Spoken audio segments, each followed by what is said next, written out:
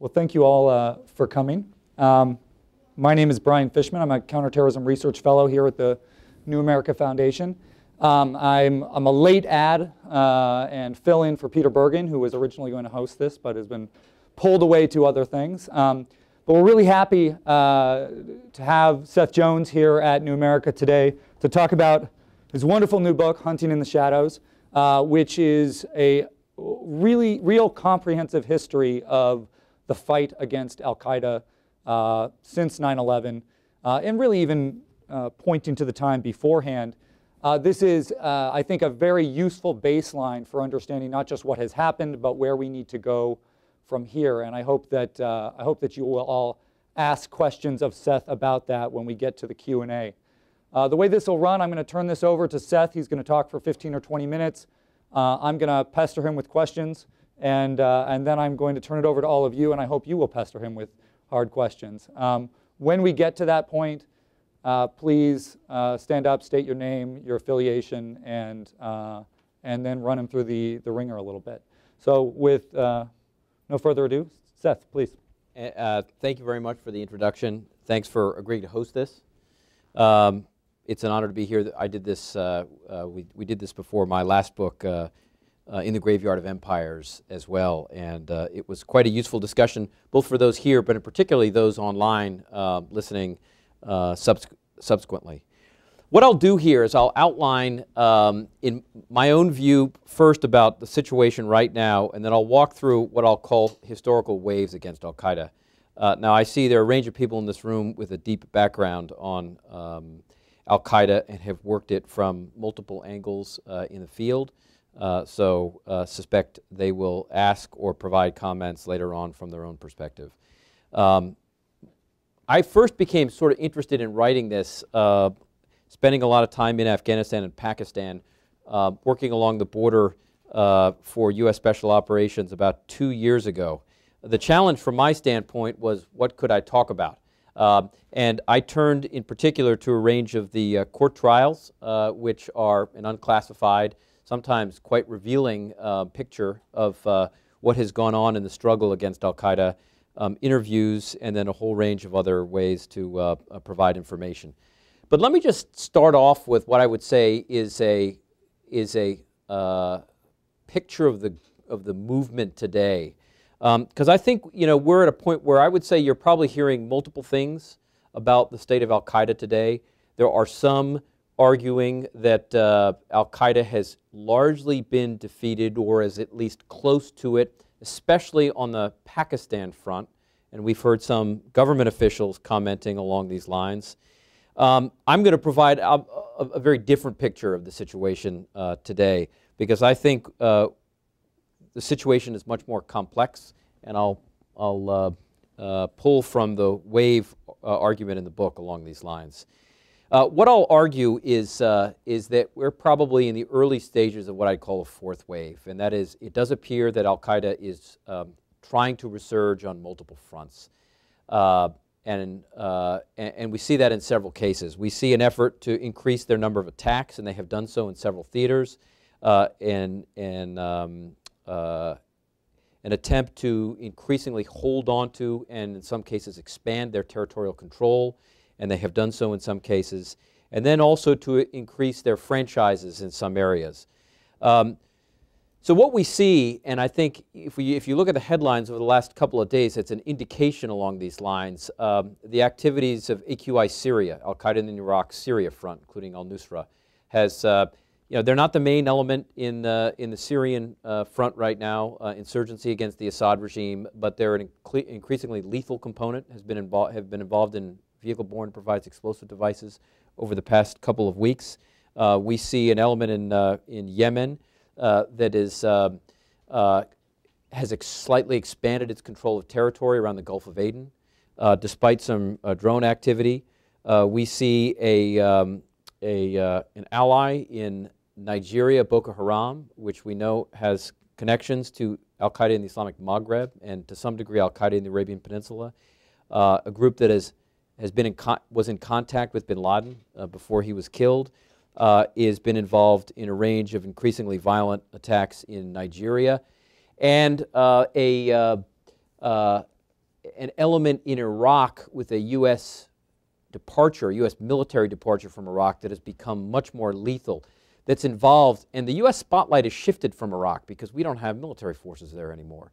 And what we see now is, uh, is roughly on average, according to uh, some U.S. government data, about 25 attacks per month over the past uh, four months in Iraq now by Al Qaeda in Iraq. So my point is not that they're a, a uh, 10 foot tall monster uh, that will succeed in establishing their mid or long term goals, which we'll go over in a second but that I think we are at the point where we have got to be honest with ourselves about what is going on. They are not on the verge of strategic defeat. Um, they, uh, they have been weakened, as we'll talk about, on the Pakistan front for a range of reasons. But I think uh, we have got to be honest with the situation today, including what Al Qaeda looks like. And that's where I want to start. Now, there are a range of people, including Phil Mudd in the room, who have uh, outlined what Al Qaeda looks like. My own personal take is uh, is that Al Qaeda today is a series of, you can think of it as a series of concentric rings. Um, at, the, at the center would be Central Al Qaeda, that's Ayman al Zawahiri, Abu Yahya al Libi, and a range of individuals, including some Pakistanis that they've recruited from theater um, that, have, uh, that do retain a little bit of a command role in Pakistan. Uh, they've been weakened considerably. Uh, I would say I don't see a lot of evidence that they're actively um, plotting, at least to the degree they were two or three years ago. But when you start to branch out, you get a range of affiliates, four major affiliates now. These are groups that have sworn bayat to Al Qaeda's emir. Um, and they're in Yemen, they are in um, uh, Iraq, they're in North Africa, and they're in Somalia. The most recent, obviously, was Al Shabaab in uh, February of 2012 that became public. Um, uh, third would be a range of allied groups. These emirs have not necessarily sworn bayat or allegiance to um, uh, Zawahiri and Al Qaeda Central, um, but they do cooperate in various ways. And you know, we see them from Africa, including Boko Haram, through a range of groups that the central element in Pakistan uh, interacts with, uh, the Tehrik-i-Taliban Pakistan, uh, Lashkar-e-Taiba, the Haqqani Network, and others. And now we've seen some fronts in Syria and several other places uh, where uh, they have as well. And then finally, you have a, an element that are really just a kind of an inspired network. And we've seen some of those uh, organizations at work, even in the United States, with arrests. Even over the past year, the FBI has arrested individuals uh, involved in inspired plots with no direct uh, or, or core connection. Um, what I'd like to do, though, is especially to try and put some context to this debate about Al Qaeda, is to argue, you know, the way I would say the media portrays this struggle is almost linear, that they're maybe weakened now. And I would say uh, when you look at data like civilian casualties, Al Qaeda civilian casualties, um, cases where they have not just conducted attacks, but also killed people, um, what you get is three, and, uh, and I would say now a fourth wave. I want to take a, a, moment or two to outline, in my view, what those look like. Um, wave patterns, as I'm arguing here, are cases where we're seeing uh, a surge of, uh, of Al Qaeda activity, surges in attacks, and then followed by um, uh, declining efforts uh, uh, because of arrests or a range of other um, um steps that are done by U.S. Uh, or other allied forces. The first wave, I would argue, began um, in the 1990s. Al Qaeda was established in the late 80s. Uh, really began to pick up with the embassy bombings in Africa, then the USS Cole, and then peaked in 2001 during the uh, attack on uh, uh in New York City and Washington. That was then led by a reverse wave as Al Qaeda was severely weakened. It lost its sanctuary in Pakistan or, or, or Afghanistan. In Pakistan, there was very good U.S. cooperation with the Pakistanis over capturing and in some cases killing senior Al Qaeda leaders. Um, and there was a major pushback in some of the propaganda um, and information against uh, Al Qaeda in Iraq. So by about 2003, uh, I would say Al Qaeda's wave, first wave, was largely over. If you read some of the now declassified comments from senior Al Qaeda leaders, including Saif al Adil, he was blunt by 2002 and 2003 that Al Qaeda had been severely weakened. By late 2003, with the large conventional um, U.S. invasion of Iraq, I would say what we saw at that point then is the beginning of what was a second wave.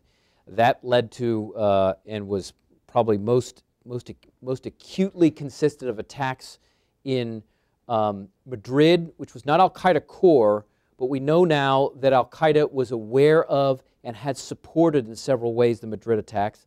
London in 2005, which was an Al Qaeda core uh, plot uh, Bali, Casablanca, and so by about 2005 and 6, you had a full born second wave of Al Qaeda activity um, that I would say hinged, at least in part, on the uh, uh, invasion of Iraq and what was a radicalization in several fronts um, in the UK, in the US, and elsewhere, reaction to uh, a, a, US, uh, a US invasion. That was then uh, followed by a, a, second reverse wave, where what Al Qaeda does, interestingly, is it oversteps its boundary in Iraq. Um, the killing of large numbers of civilians uh, decreases its support base.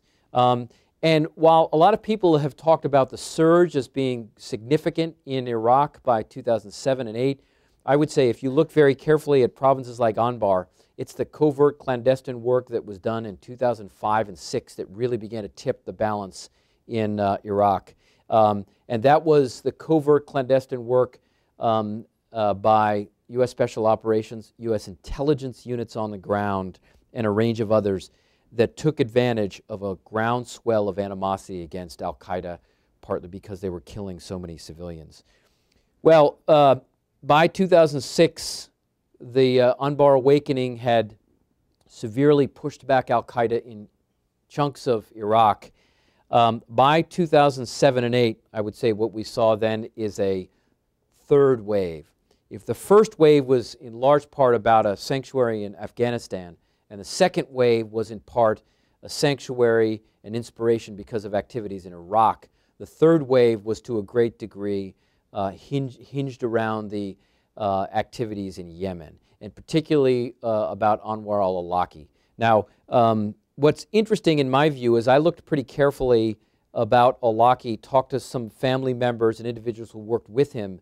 He was interesting not just because of his social media, command of social media and propaganda. And he was uh, quite um, dangerous because of his ability to push out uh, propaganda uh, on you know, Constants of Jihad and a range of other um, uh, lectures online.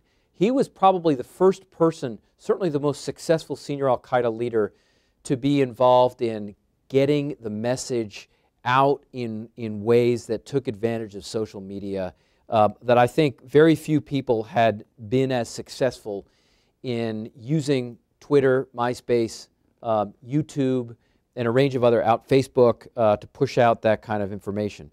But what made him particularly dangerous was also his um, operational and tactical level involvement.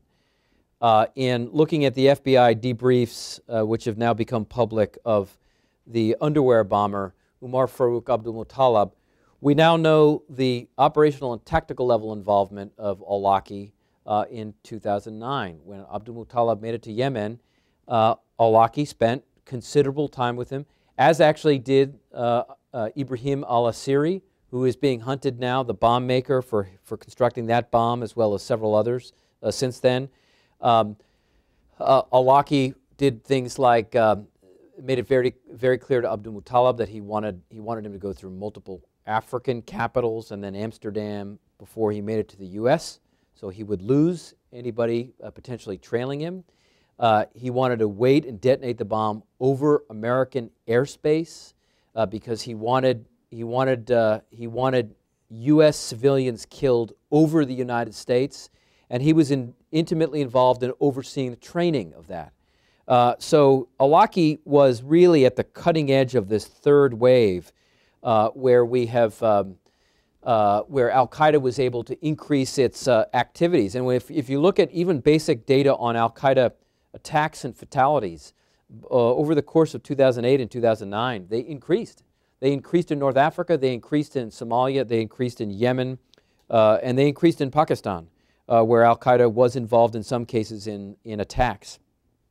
Well, uh, by the uh, uh, 2011, with the death of uh, Osama bin Laden and a range of uh, uh, range of deaths, Sheikh Saeed Al Masri, the general manager, um, and a number of others, Ilyas Kashmiri, the head of external operations. By 2011, Al Qaeda had probably come to the end of this third wave. Its attack numbers came down, um, and it had been beaten back on several fronts. Uh, then I would say, and where we're at now is, uh, and let me project into the future uh, before we move over to question and answers, is really, I would say, at the beginning of a fourth wave. So the first was partly a sanctuary in Afghanistan, and the second was Iraq, the third was Yemen.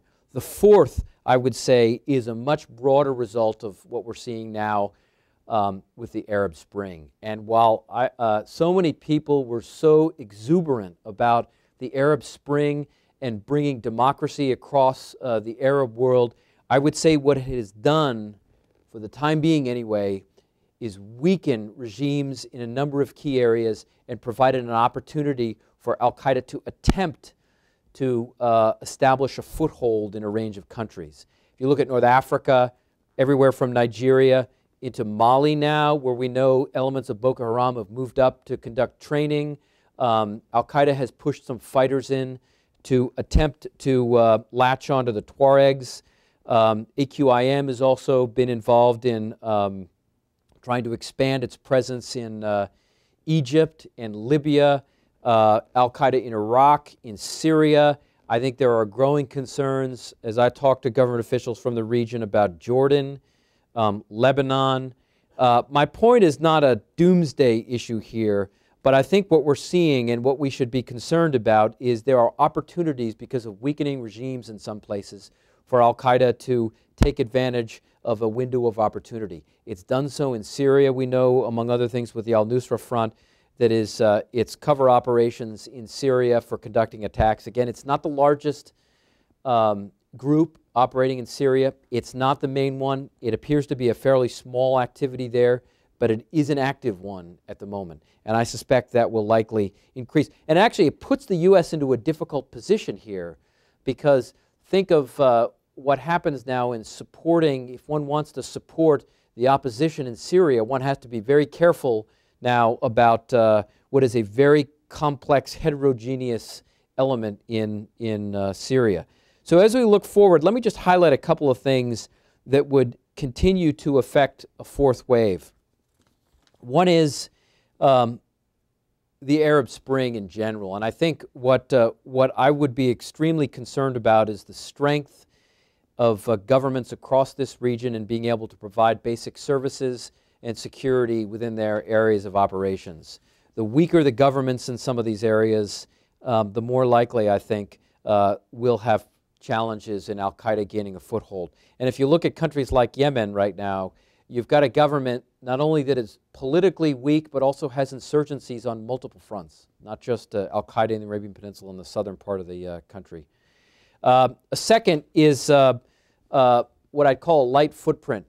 I would say that the U.S. tends to be on sounder ground uh, when it, its counterterrorism efforts primarily leverage intelligence agencies. Um, that is not just CIA, uh, but uh, FBI, which has a growing presence overseas and a quite useful one, um, when it uh, leveraging the other U.S. intelligence agencies, uh, NSA, um, NRO, uh, NGA, special operations, but when the footprint is generally small and uh, covert rather than big. And, and that becomes an issue, just think if the U.S. were to be attacked, as we have several times, that issue would come back to the surface again. How would we respond to a TTP attack that we saw in 2010 in Times Square? Had that device gone off, what would the U.S.'s response have been? Um, that's the Faisal uh, Shahzad attack in uh, Times Square. Had that bomb actually gone off, what would our response have been? Another uh, issue along the light footprint side, I think, is the, uh, these discussions about a, uh, a U.S.-Israeli attack against Iranian nuclear facilities and what could potentially come as part of that, I think would be, if that were to seriously deteriorate, would be another way of, of uh, potentially contributing to a um, increase in a, in a fourth wave. And the final thing, though, is um, some of this is obviously in Al Qaeda's hands. Uh, Al Qaeda has generally tended, as we've seen in past waves, to put itself in a very difficult situation when it kills civilians, including Muslims. That stuff needs to be taken advantage of. If Al Qaeda is much more careful, and it has been a little bit more so on some fronts, and does not kill civilians, at least in mass, it often will be able to hang on to its support base rather than uh, when it kills en masse. And we've seen Al Qaeda in Iraq in particular, and now in Syria, um, get into the killing uh, civilians more than some of the other fronts. If it goes in, continues to go in that direction, that's obviously one area where I think could weaken its ability to establish a fourth hold. So there are several factors at play that we can talk about in more detail. But let me just conclude with this as we look forward. Um, uh, two comments. One is I'm going to push back very strong on arguments that uh, Al Qaeda as, uh, sort of I defined them early on, its central node, its key affiliates, those organizations that have sworn bayat, and its allies, where we actually see a direct relationship in some capacity, like Boko Haram. That org organization or movement um, is not dead. And in fact, I would say in some areas is desperately trying to revitalize itself. And so for us to create Department of Defense doctrine uh, or, or uh, strategic postures to move increasingly and rebalance toward the Asia Pacific, I would strongly suggest we think very carefully about not losing focus on an organization that is still committed to attacks in the U.S. homeland. And second, I'm a little less optimistic than some people are about the, uh, uh, the Arab Spring being a, uh, um, a harbinger of all good things across the Arab world. I, I think uh, what it has done, again, in some cases, is weaken a number of regimes.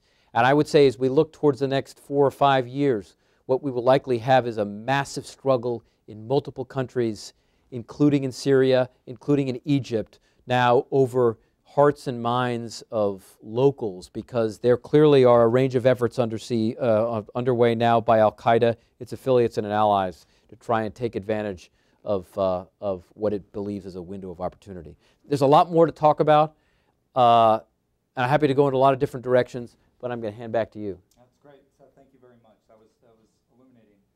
Um, I'm going to ask a couple questions to start off, and then, and then we'll go to the audience. I don't know, do we have somebody back there with a mic? I don't know if we do at the moment. Um, the, the first question I have is that this fourth wave that you're talking about, it differs from the first three in that the man at the top is different.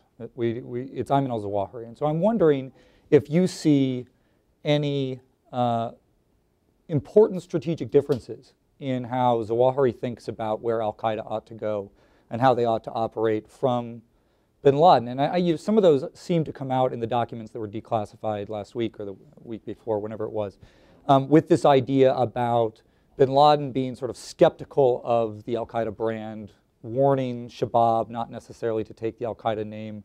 Zawahiri seems more willing to sort of use the brand and apply it to affiliates.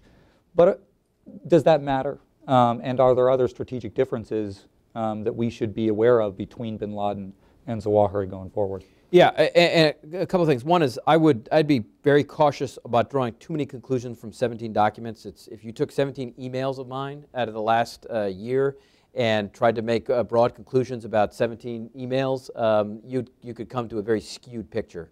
So what we know is there are you know uh, hundreds of thousands of pages of text uh, uh, on a whole range of issues, and only a small percentage that have been declassified. But but I think you know the broad question about Zawahiri is an interesting one. Uh, uh, I would say a couple of things. One is, I mean, we know historically that he's not he's not played the role of being the sort of soldier on mm-hmm. you know on the ground fighter inspiration that Bin Laden was in the 1980s.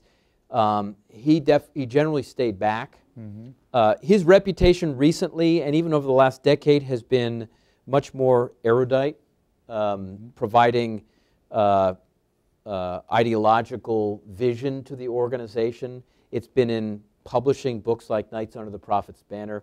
It's been in his statements about the Arab Spring recently. His contribution has been in a, attempting to provide a, a um, an ideological vision to the organization. Um, I, and I, I, would say a few things on him. One is all affiliates have sworn bayat, loyalty to him. I would not take too much the, uh, or, or, take, uh, I'd, I'd, push back a little bit on questions about his credibility, at least from some areas, because he appears to have enough credibility, or at least the senior management now with Abu Yahya al-Libi um, and several others, uh, to uh, have its primary affiliates uh, swear allegiance to the central node. So I, I, it's unclear how much damage that has done to the central element. The, the drone strikes have clearly impacted his ability to communicate, that central node's ability to get involved regularly in operations, because I think they're just trying to survive right now. Mm-hmm. Um, but I would say it also looks like where he's trying to take advantage of the organization right now from Pakistan mm-hmm.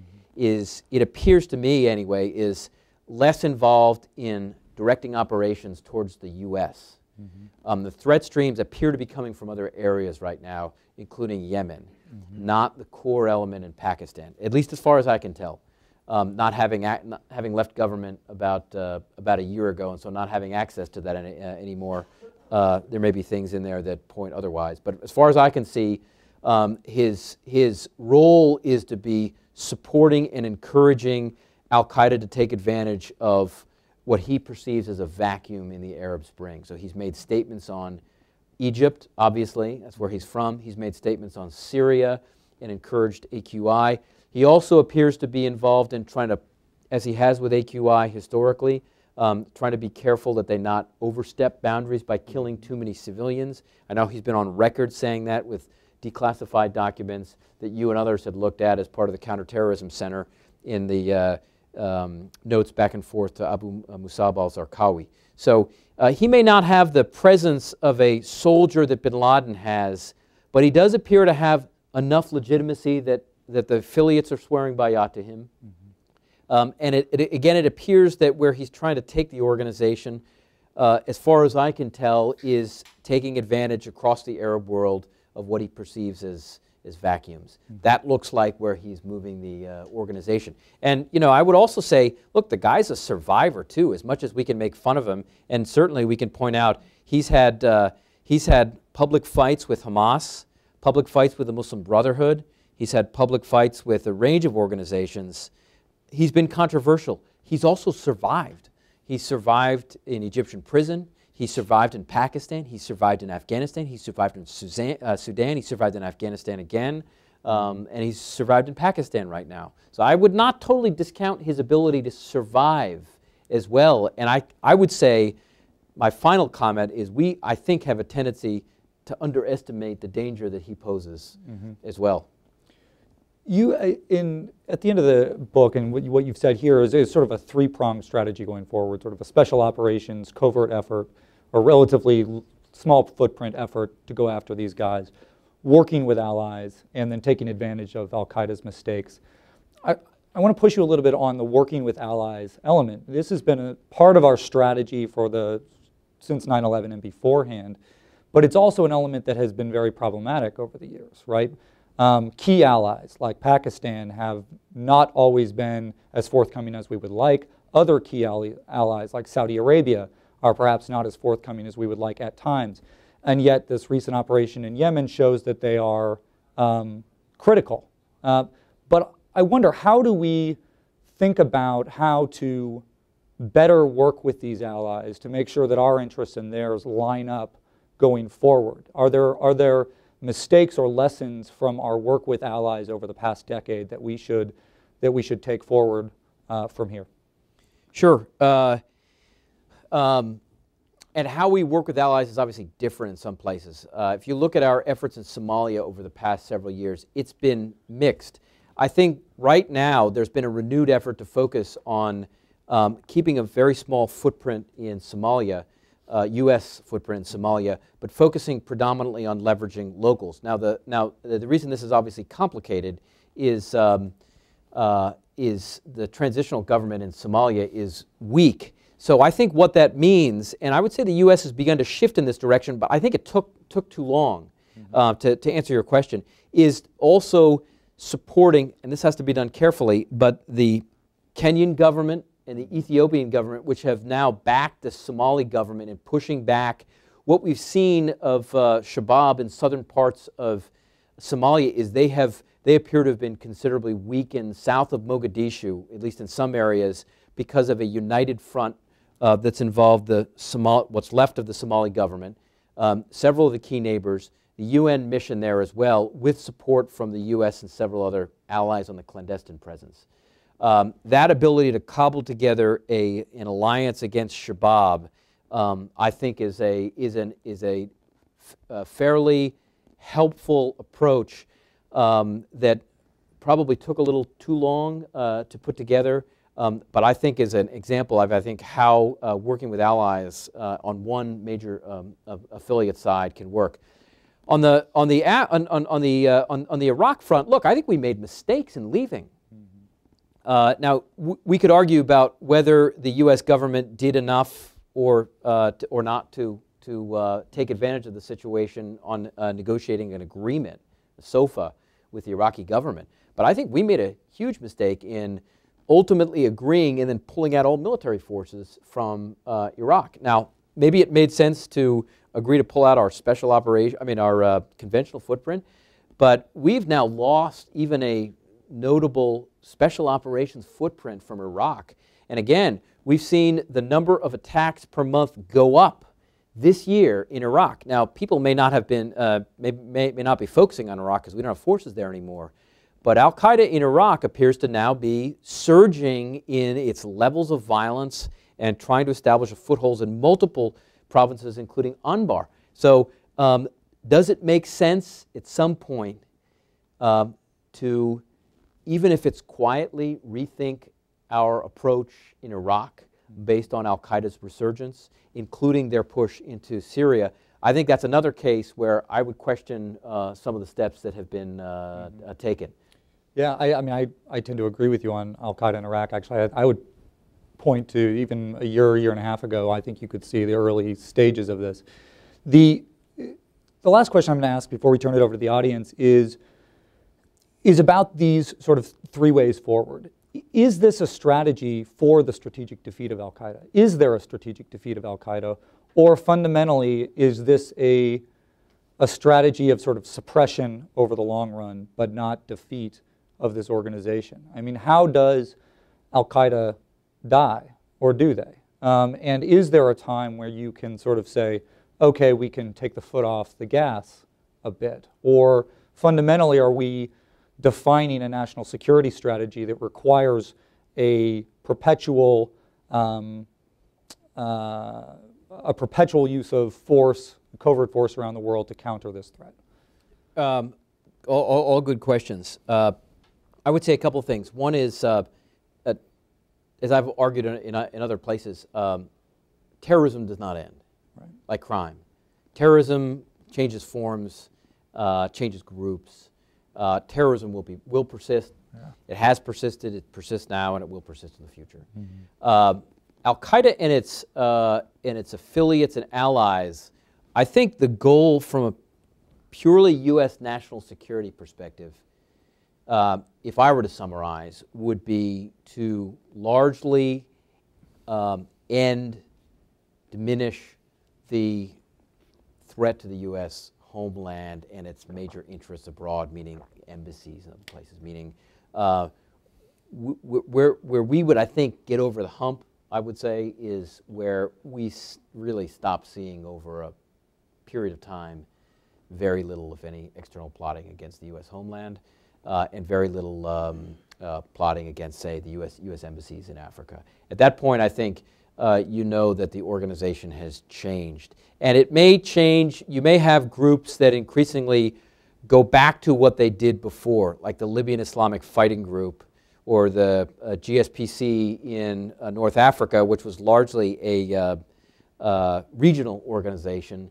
Mm-hmm. Um, took on a little bit more of the global jihad, uh, have become involved in a little bit more global activity, you know, would certainly be plausible at some point where they go back to playing more of a regional role. And I think in that case, uh, the continuation even of an organization like that with slightly different goals, it, it gets rid of the global uh, uh, jihad, mm-hmm. it stops its plotting overseas. that I think we would, we would uh, I mean, means for all intents and purposes, the U.S. will largely have gotten out of the woods on uh, uh, ameliorating the threat from Al Qaeda and its allies. And I, I think that's, that's kind of what would be in our, you know, because it, it's sort of like talking about Hamas or Hezbollah.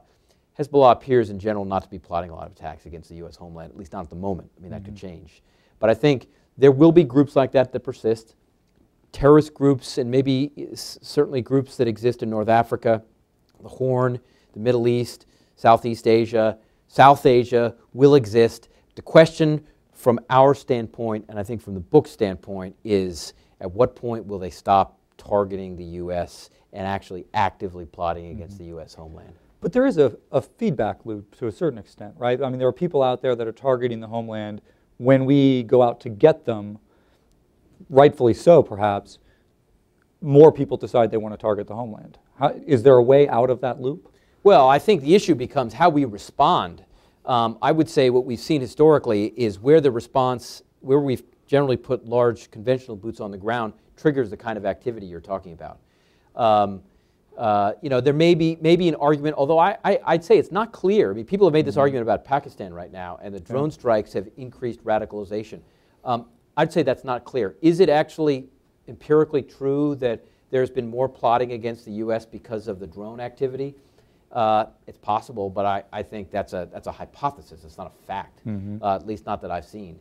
Um, so I, I, again, I would go back to efforts to be, to, to rely on covert clandestine forces, both in the U.S. homeland, that's organizations like the FBI and, the, the, and law enforcement, JTTFs, overseas, um, uh, a range of the organizations we've talked about, um, especially ones that can work with host nation governments where feasible. And you know, look, there will be cases, as you noted earlier, like Pakistan, where that's a serious problem. I mean, I, am not going to paper over the fact that uh, we were most successful against Al Qaeda in the cases where uh, we were cooperating jointly in the mm-hmm. 2002 and 3 and 4 period when we mm-hmm. captured Khalid Sheikh Mohammed, which is a joint effort, or Abu Faraj al Libi, mm-hmm. or a range of others. And we're, we're not at that stage right now, which actually is another reason we should be quite concerned mm-hmm. Um, with uh, the possible reemergence of the core central element uh, at, at some point down the line. So I would say if, if we are very careful in our uh, use of force and use of violence overseas, uh, I think that can generally limit the, the um, uh, blowback effect mm-hmm. against targeting the U.S. homeland. And, and, I would just point out again um, that uh, you know, the U.S. invasion of Afghanistan, which was in 2001 just a small presence of clandestine forces, CIA and special operations, just over, barely over 100, was done uh, um, after the attack. Mm. So right. this, this group was committed to attacking the U.S. before, mm. well before we had sent in forces into Afghanistan. All right, I've been hogging him. Uh, questions from the audience. Um, please state your name and affiliation. Jennifer. Yeah, my name's Li Yang it's something always puzzle me. just because media they don't really tell you the truth. Official they tell you uh, maybe the opposite. And before that, we have all those Bin Laden and Al Qaeda and uh, Arab uprising. And here in the USA, you have Occupy Wall Street, Occupy Department of Justice, Occupy almost everything.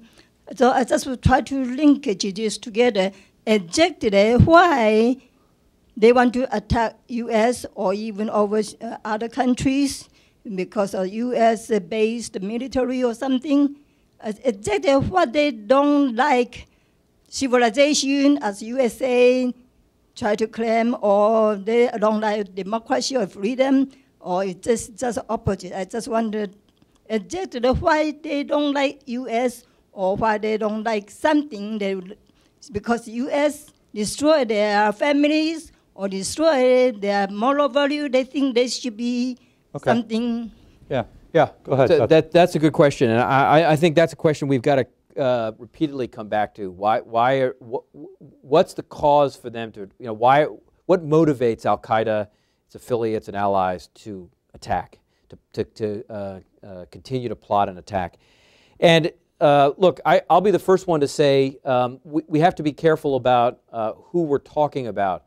Um, and so I'll try and be careful and say, look, when, when you look historically at the writings um, and the statements of somebody like Ayman al Zawahiri, who's now the head of Al Qaeda, uh, one sees a very, I would say, straightforward rationale.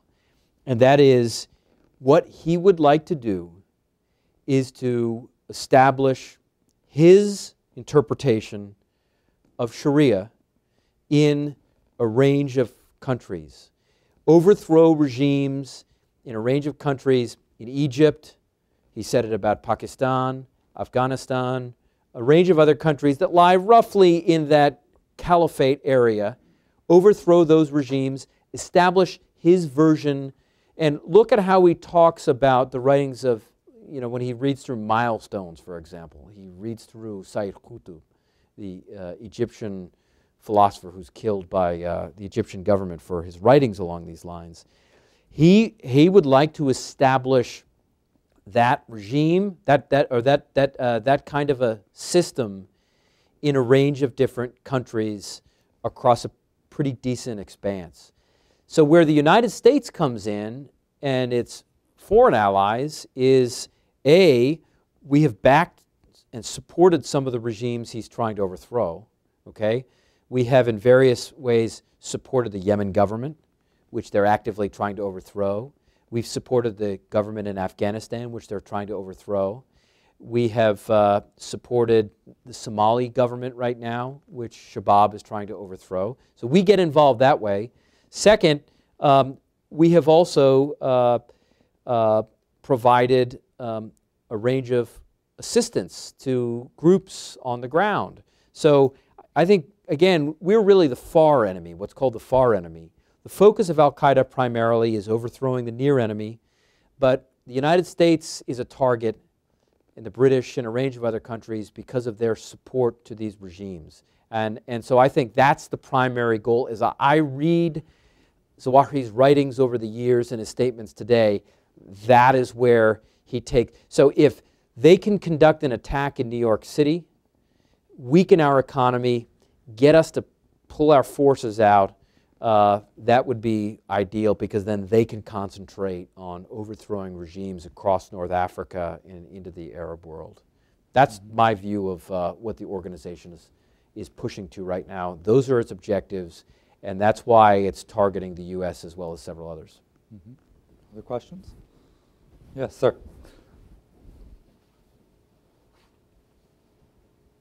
Bill Rankins. Um, uh, you haven't mentioned anything about financing of Al Qaeda. Uh, could you share your views on that subject? Where Al Qaeda gets its money from? Yes. Yeah, and and you know we haven't talked about a whole range of things. The uh, part of the discussion is focused on the security side as well. Um, the uh, answer, in part, uh, depends on who one's talking about. The core central element, uh, the affiliates or allies because uh, there appears to be a fair amount of redundancy across the movement more broadly. certainly gets uh, funding, appears to get funding from um, wealthy donors in uh, the, uh, the Gulf. It appears to uh, get some funding from non-governmental organizations, including charities that are um, pulling in money, sometimes unaware of those, they will establish and have established front companies so they can pull in uh, what appears to people providing uh, money to appear to be legitimate operations. Uh, they can funnel some of that back into the unit itself. So uh, some of it may be coming from charities. Uh, in several areas, they, are, they appear to be involved in gaining money from, we know in Afghanistan and Pakistan, they've gotten money from kidnapping and ransom.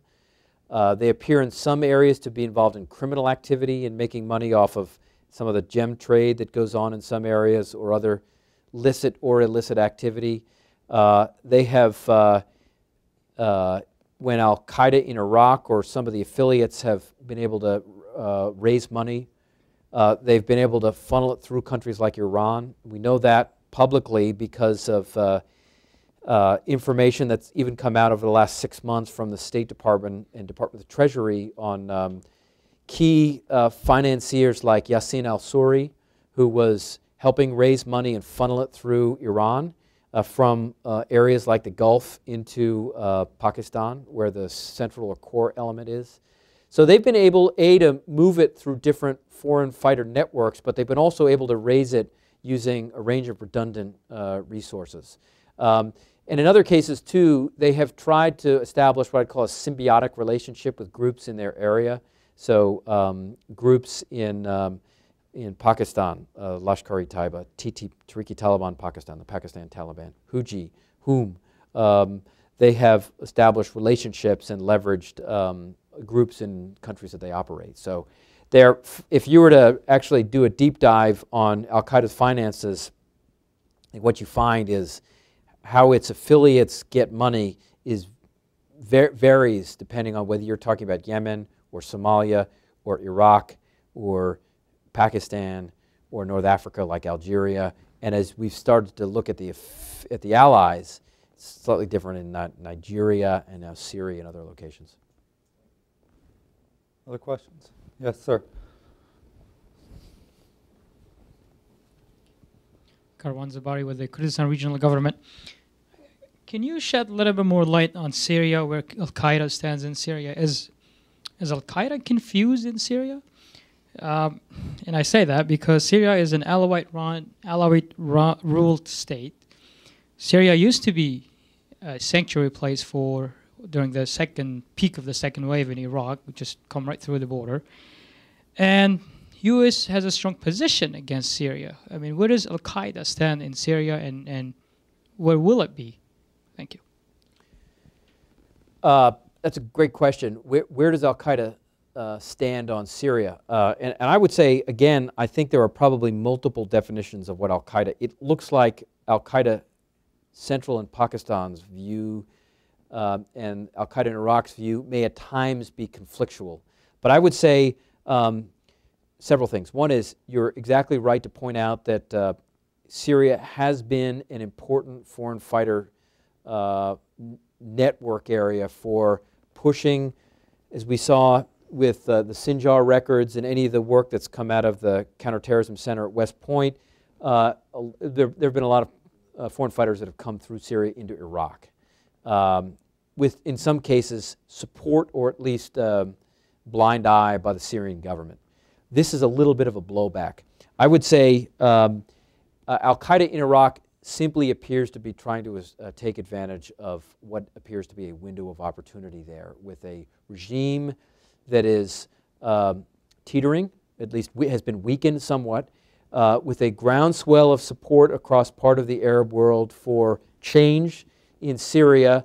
Um, Al Qaeda appears to be trying to take advantage of a governance vacuum to some degree so they can expand its presence in the region. That's where I see Al Qaeda trying to go, to influence the future of Syria based on it's, it's essentially picked a side. It's switched sides, now picked a side, almost a sense of where it thinks, uh, if you were to see where Egypt has gone, where Libya has gone, it appears to be taking a bet that Syria may go in the same direction, that the Assad regime in some form may fall, uh, and that, that it wants to be involved in the discussion or influence about the future of Syria. Now, the challenge is its mode of operation right now, I suspect, is probably um, uh, creating friction within the opposition movement in Syria.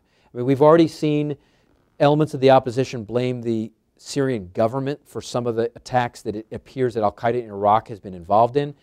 I would interpret that almost as a way of look, Al Qaeda in Iraq is putting itself in a difficult situation now in Syria because it's alienated himself, itself from part of the opposition. It's now also alienated itself from the Syrian front, uh, the, the Syrian government.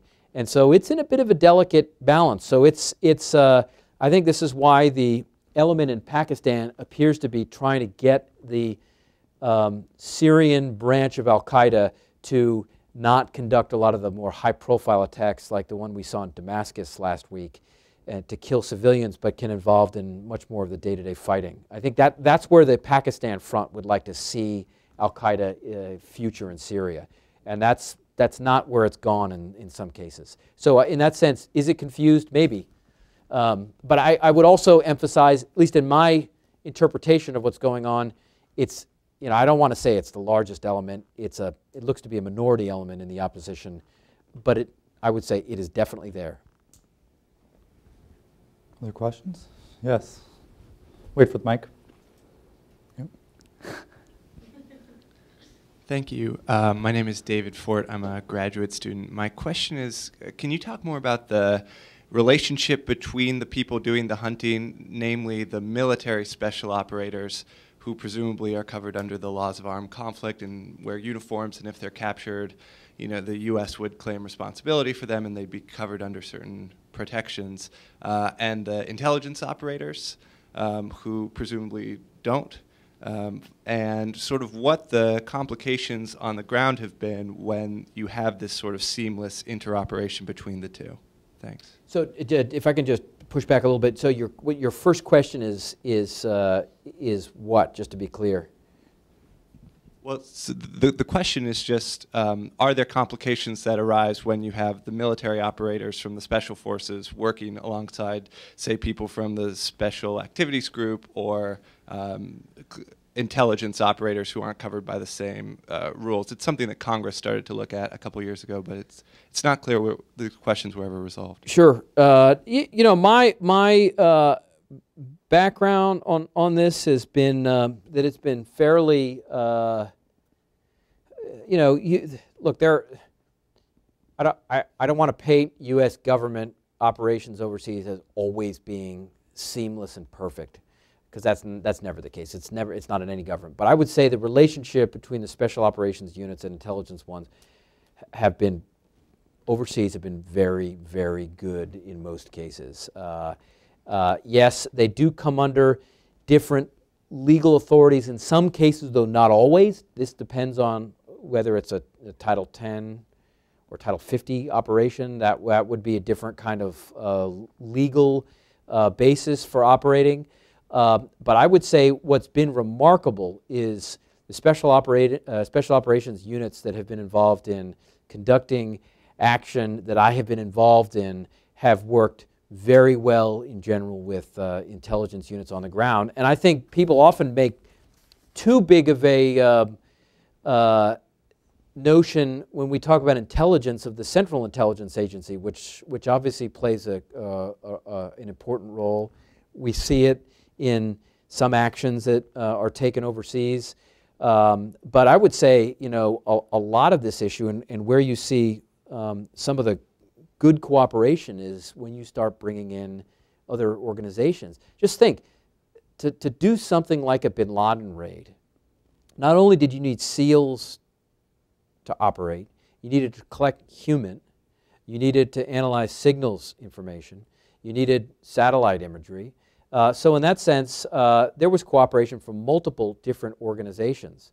Um, and I, I, think in general, uh, there has been, uh, from what I have seen and been personally involved in, very good cooperation in general between special operations and a lot of these units. Is it always perfect? No.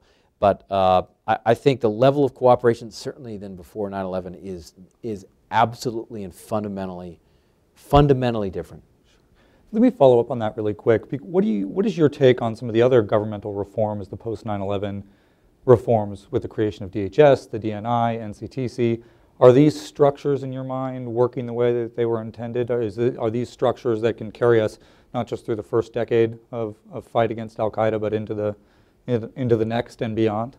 Yeah, uh, good question. I, I, I, uh, I, have not worked in DHS. I have not worked in um, NCTC, though I've worked with them. Uh, that's some of those questions are probably better answered by other people in this room that have. Right.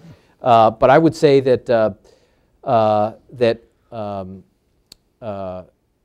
our domestic organizations um, have done fairly well. Um, I think the biggest area that I see some concern with actually is um, our relationship to communities in the United States. What concerns me in particular is cases like Najibullah Zazi. Okay, uh, Zazi is is uh, really probably the last major uh, uh, Al Qaeda senior operation in the United States, or at least the last one that came as close as it did to an attack. And Z- Zazi was building his bomb in uh, Aurora, Colorado, uh, we now know because it's come out of the court trials, and I've looked at, at the thousands of pages of court documents, that um, he was watching videos, jihadist videos, in his uncle's uh, apartment or uh, townhouse in Colorado and mixing chemicals, bomb making chemicals in his uh, uncle's house. And there were family members that were coming in and out, and people knew what he was doing, or roughly knew he, these were ingredients for, they were explosive ingredients, and he was watching jihadist videos. Nobody went to law enforcement. Nobody went to, or even if not law enforcement, nobody went to the government, to, to whether it was DHS or local police in the area. But people knew about it. So my question is, with several of these kinds of incidents, why are, what's going on in these communities where individuals are not reporting these kinds of, is it a bad relationship between local authorities or federal authorities, state, state local or uh, federal authorities and these communities? Uh, is, it, uh, is it something else? What is going on that locals are not reporting this activity? Because I think uh, we've got the potential to miss actions because in some areas we are not as well uh, attuned to concerns in local uh, communities as we should. And the Zazi case is a really is an ironic one because um, people had information about his operations and nobody reported it. And that's the kind of case I think where where um, we, we, we should be able to get because once we've identified an operation, as we did eventually with Zazi, but that was an intelligence catch, um, which I do talk about here, which has become public now, a, an intercept. Um, then you can put all sort of resources on it. But it's that community outreach um, that is, uh, I think, where we're probably missing, uh, missing the boat in some cases. Interesting. Other questions? Yes, ma'am.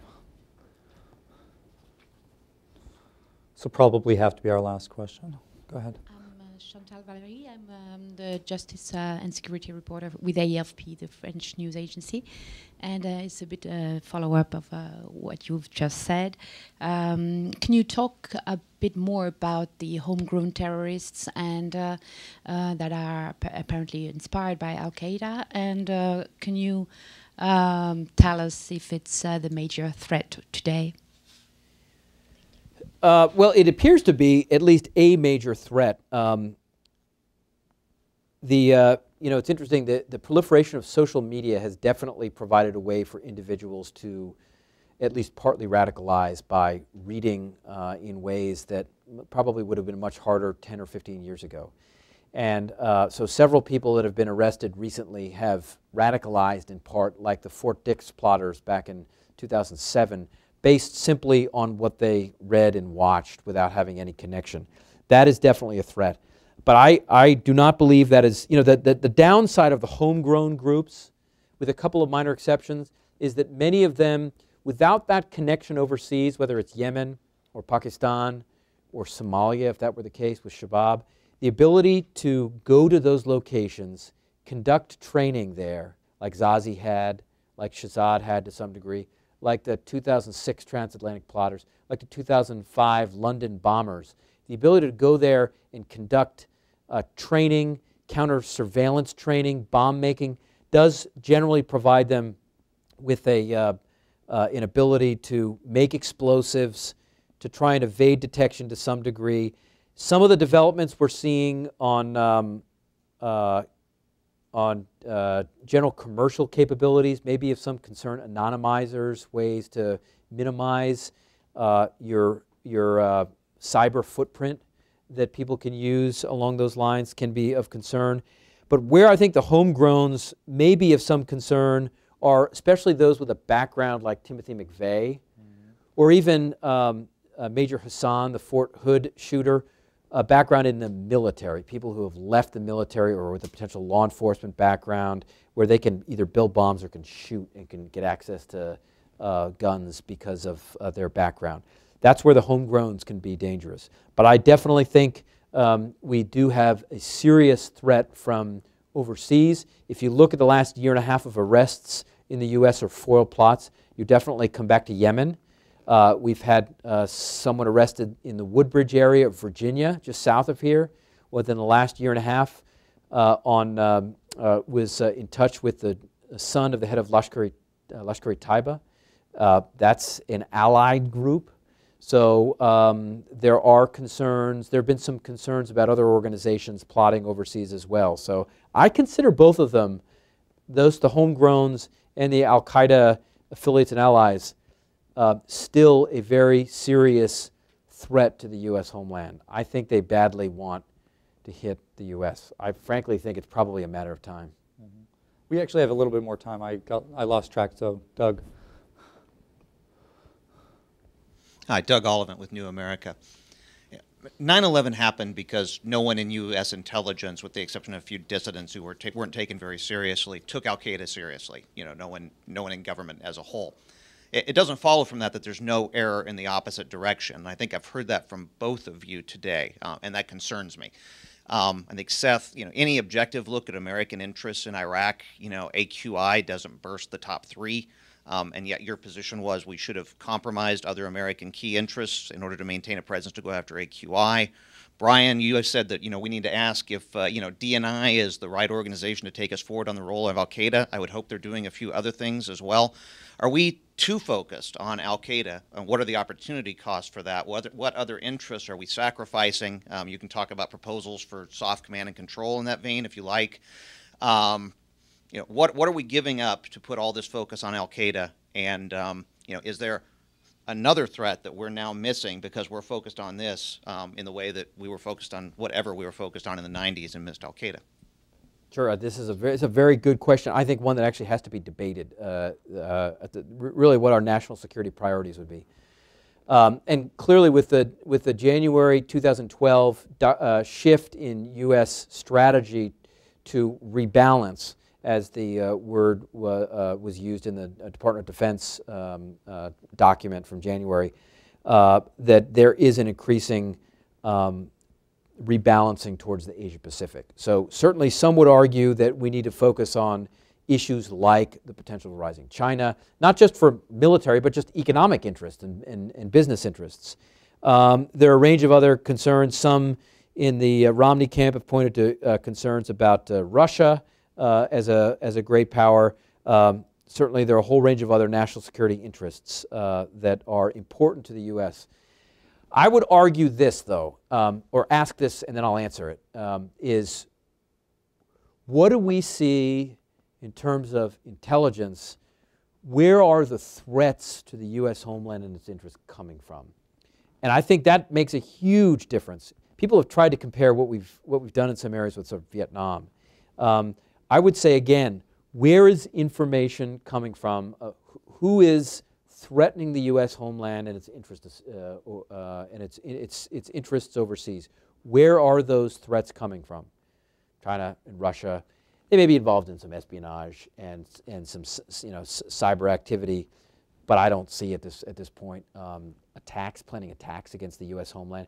This is why I keep coming back to an argument that um, for the moment, uh, this movement, if that's the best word, uh, requires a significant amount of attention because they are actively plotting attacks in the U.S. homeland to kill American citizens. I think that axiomatically pushes them up to uh, right up at the top, you know, with a few others, right up at the top of U.S. national security uh, uh, interests and concerns. And until that threat goes away, I would not take my foot off the accelerator.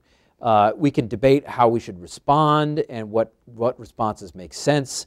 But um, until that active plotting stops, I would consider this organization and its allies and affiliates a grave threat. And that is my very simple criteria. Who is plotting attacks against the U.S. homeland? I mean, we had concerns during the Cold War of the, of the uh, Soviets involved in a range of expansion of activity on multiple continents, ballistic missiles pointed at the United States. certainly if we got into a war with Iran in some cases and Hezbollah became a bit more focused on the U.S., that might slightly change the priorities in some cases a little bit. But I would say for the moment, um, that's what I would come back to. Hey, yours Well, be different. Yeah, I, I, I, I see things a little bit differently than Seth. I, I actually think that, um, similar to sort of Doug's leading question, that, that, that we have focused too much on Al Qaeda, not just now, but perhaps over the last five years or so.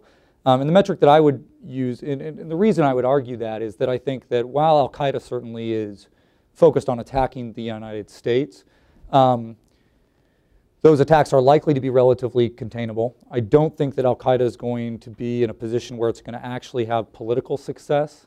And I think that these other threats in the world tend to be larger dangers to American strategic interests and strategic place in the world over the long run.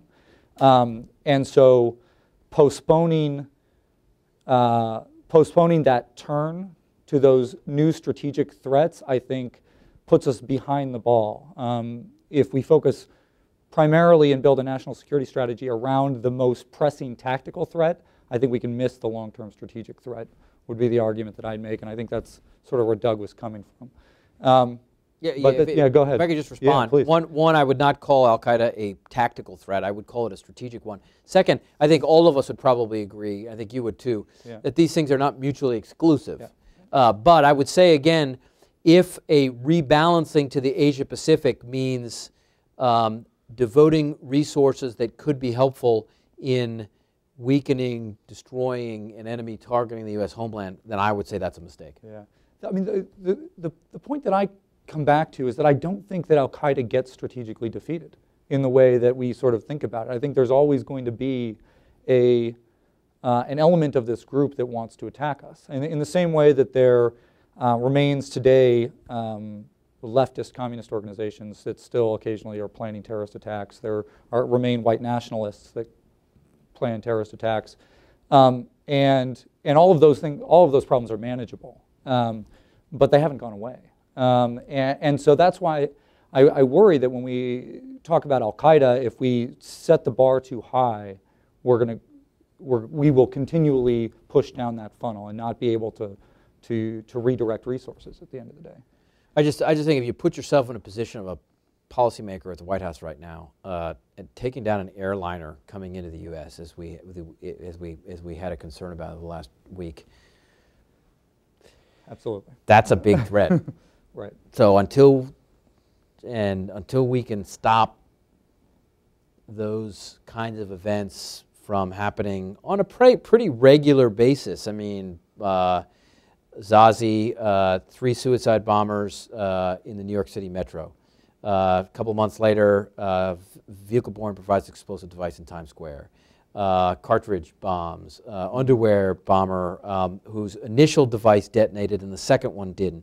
Now this one is we, you know, this one that is that came close again. I'd also remind you at the 10th anniversary of uh, the 9/11 attacks. If you remember, two days before those attacks, there was a, another um, uh, uh, White House bulletin of a plot to conduct attacks that went back to the Pakistan-Afghan area um, that had gone up to the top of Al Qaeda's leadership, and that was uh, that was uh, Zawahiri at the time. So Seth, let me ask you, the, because you know we're sort of coming at this from slightly different angles, but in practical terms, there may not be much of a difference in terms of what we're saying. What is, what does this um, small footprint kind of approach in, in real practical nuts and bolts terms look like? I mean, it means a, a, a- an ability to get at things in Yemen and Somalia, um, perhaps an ability in Iraq, a lingering ability along the Afghanistan-Pakistan border region.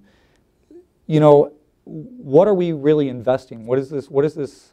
Yeah, I'm, I don't. You know, it's unfair to ask you what is this going to cost over the long run. But on some level, you know, what? How do we scope this thing compared to where we've been? Because we can draw down a lot if you take out the costs of maintaining hundreds of thousands of troops in Iraq and Afghanistan, still do a small pr- footprint approach, and still be able to turn towards in other directions relatively easily. Right? They're not mutually exclusive. So what? I mean, in practical terms, what does this mean? Look, I, I think this is, uh, among, other, among other issues, uh, uh, when it comes to the resources of Special Operations Forces, not just the Joint Special Operations Command, the Direct Action Unit, JSOC, but also others, uh, Army Special Forces, Navy SEALs, Rangers, and others, uh, that the, I think the most pressing issue for those kinds of organizations are severalfold. One is training local, national, and other uh, irregular forces in the key countries we're talking about to improve their capacity to do this. Second, it's uh, conduct, being able to conduct direct action missions when we need them.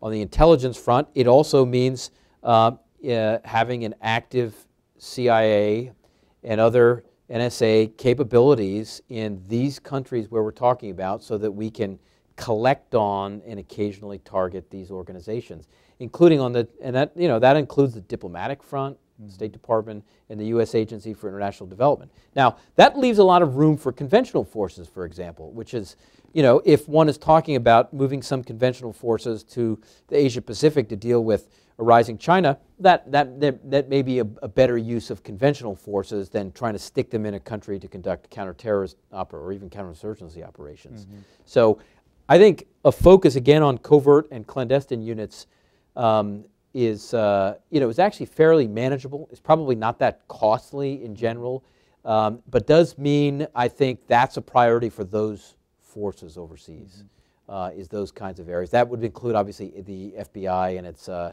legats overseas in those key countries. Mm-hmm. This, is a, this is a little bit of an ambush, hopefully not too much. The, there's a story in the LA Times today about a report on the village st- stability operations a program in Afghanistan, primarily a, a special operations program, um, that suggests that that program hasn't been nearly as successful at limiting violence in the areas where the ALP has been stood up. Is are there? I mean, what should we take from that in terms of a strategy based on a special forces footprint going forward? Is are there are there lessons from this? Is are, are there things that we need to to keep in mind that we're not in that story? What's or, or, or, is this kind of approach limited, as, the, as this report suggests? Uh, no, I think, uh, I think as the U.S. approach in the Philippines, Colombia, El Salvador, and a range of other countries suggests, I think one way of thinking about the future U.S. activity in Afghanistan is uh, shifting to a more uh, indirect, irregular approach. Mm-hmm. And, I, and I think what that looks at, I mean, if you look at the successful U.S. efforts in the Philippines, uh, or even in Colombia to some degree. And for people who've argued that uh, uh, Colombia, or, or, sorry, Afghanistan is the longest war the U.S. has fought in since World War II, I, I would, I would just uh, venture to, to actually look at how long we've deployed forces to the Philippines or Colombia, uh, several decades, and they're still there. Um, and what that indicates, I think, among other things, is uh, that special operations forces can be very effective at conducting direct action, which they should be doing in Afghanistan and are doing with their Afghan partner units, and building local um, security forces, providing development, and um, uh, improving local informal governance. I think the program, I've seen it uh, up close for the last uh, nearly three years. I think it's been extremely successful on the ground. Nothing is a magic bullet. It should not be viewed as a magic bullet. Like everything, there are always some costs and benefits. I think overall it's been enormously helpful in undermining Taliban control of especially the South. Mm-hmm. So I think the overall picture uh, is, uh, is, is quite positive on that front. So I, I think that whole Village Stability Operations Program, the one you're referring to, has been um, uh, very successful. Mm-hmm. Any last questions? Yes, Phil Mudd in the back. This will be the last question. For real this time. Actually, two, if I can. Two get questions. All right. Just, uh, I was going to ask you two questions. No, I don't work anymore. My name is Philip Mudd here at New America sometimes.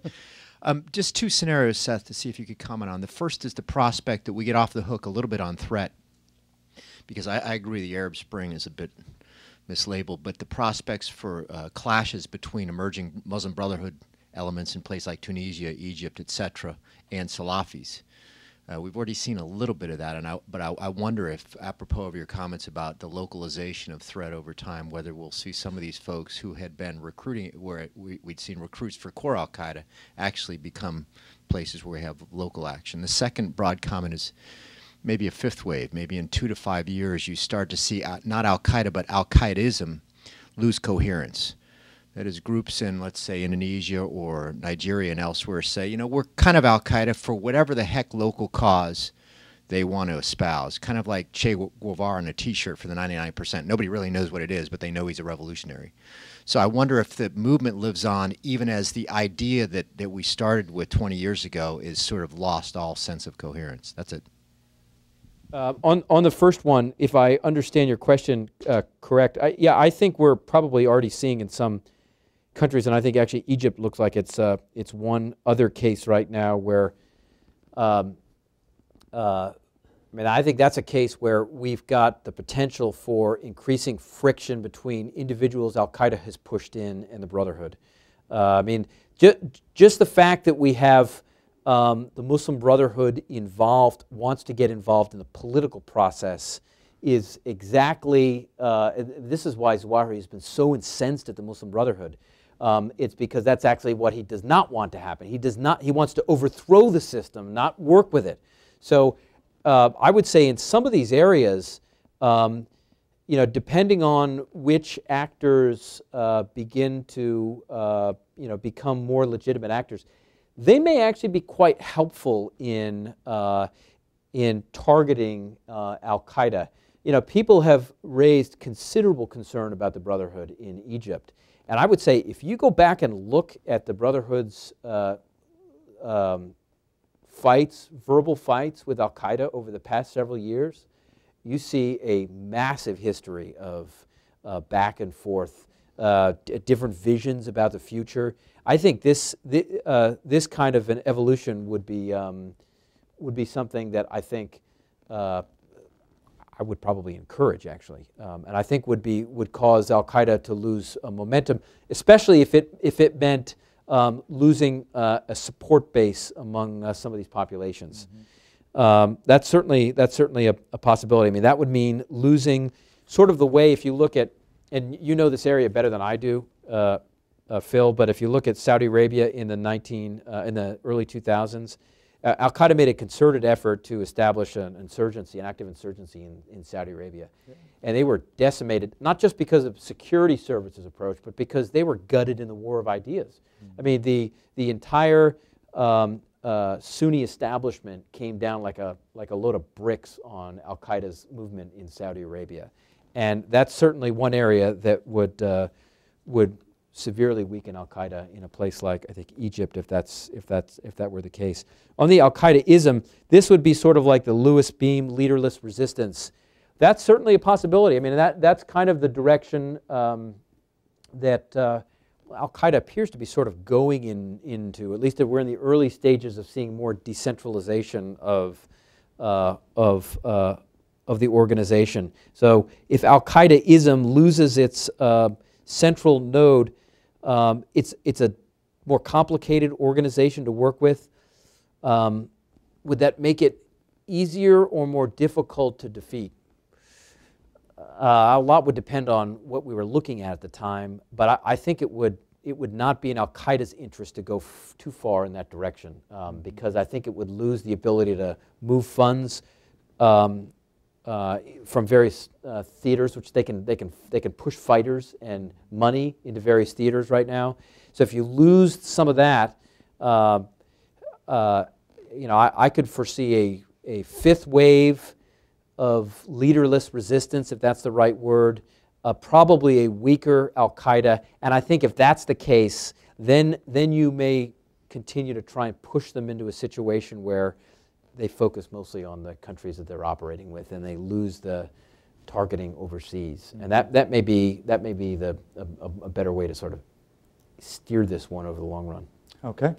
Um, we're going to have to cut it off there. We're already over time. Um, Seth Jones, thank you very much for being here. We really appreciate it. Uh, and everybody go out and buy the book, Hunting in the Shadows. It's great. There's some for sale just outside. Thanks for coming. Bye. Thank you. That was great.